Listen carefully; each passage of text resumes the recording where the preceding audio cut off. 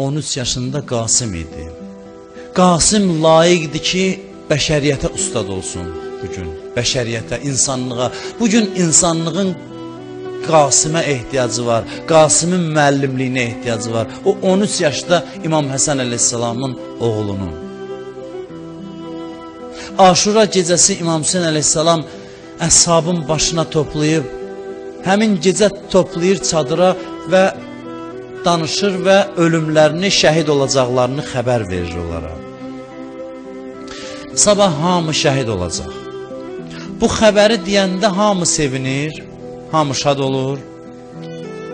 Hamı sevinc içində Qasımdan başqa. Təkcə Qasım narahatdır. Narahat halda gəlir İmam Hüseynin yanına. Əmisinə deyir ki, əmi, olar bir sual verim sizə.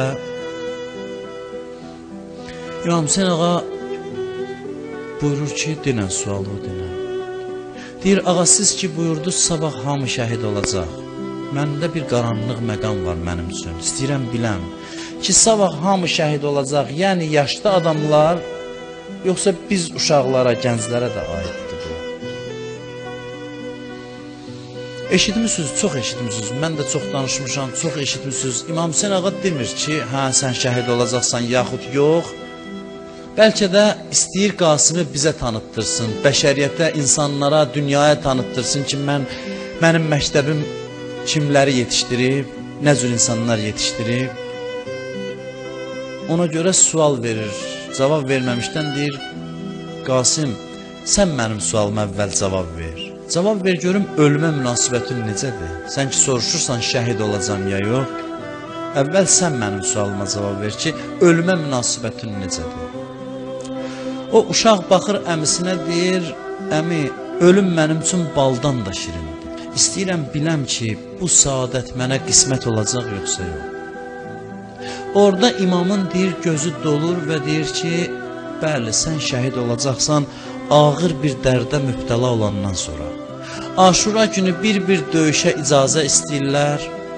Qasım gəlir, dayanır İmam Hüseyn ağanın yanında. İmam Hüseyn ağa başa düşür ki, icazə almağa gəlir. Gəlir deyir, əmi icazə verirsən gedin meydana. Əli Əkbər icazə alan kimi öz oğlu. İmam Hüseyn ağa deyir ki, bala get, tərəddüd eləmədən. Amma Qasım icazə alanda ağa dayanır, cavab vermir, başını salır aşağı. Görür ki, ağa başını saldı aşağı, gəlir, qolun salır İmam Hüseyn ağanın boynuna. Görür, ağa icazə vermir. Yazırlar ki, düşür başlayır əllərindən öpməyə İmam Hüseynin. Düşəndə əllərindən öpməyə imam əlindən tutur, qaldırır, qucaqlayır, bağrına basır onu. Bunu tarixçilər yazıb. Deyir Kərbəlanın ən ağır səhnələrindən biri idi ki, əmsi ilə qardaşı oğlu qucaqlaşıblar, ikisi də ağlayırdı. İmam Hüseyn çox şiddətlə ağlayırdı Qasimi yola salanda. Bir-birindən ayrıla bilmir. Nə o bundan ayrıla bilir, nə bu ondan. Axırda icazə aldı. Deyir, çıxdı İmam Hüseynin əlindən getdi meydana.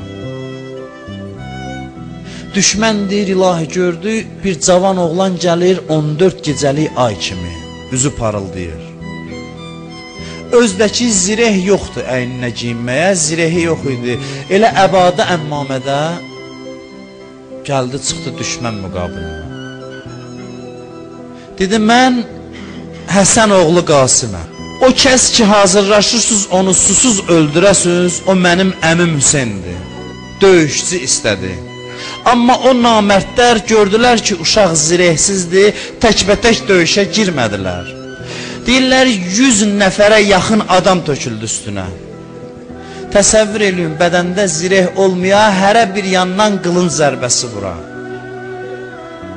Ayətullah Hayri deyirdi ki, mən olan məclisdə Qasımın müsibətini danışmayın. Mən dözə bilmirəm.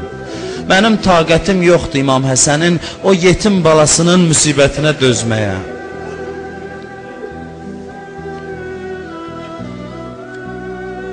Yaralar elə dərindən nüfuz eləyir, atdan yerə saldılar. İmam Hüseynin qulağına səs gəldi ki, Qasım çağırır, əmi gəl. Deyirlər, çox sürətlə gəldi, özünü yetirdi Qasimin başı üstünə. İmam gələndə 100 nəfər dövrəyə almışdı Qasimi. Ağanın gəlməyi ilə hamısı qaçdılar.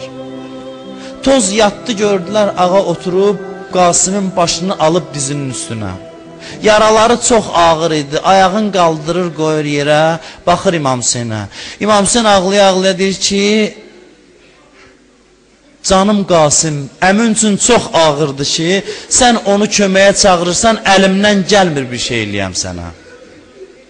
Sən məni çağırasan, mən kömək eləyə bilməyəm, mənim üçün çox ağırdı. Çox ağır idi İmam Hüseyn üçün. O uşaq çırpına-çırpına can verir qucağında, ama ağırlarını azalt.